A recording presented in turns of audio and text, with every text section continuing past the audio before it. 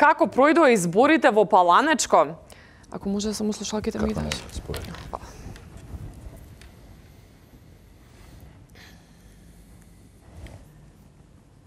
Ке ни каже колегата Дивјаков.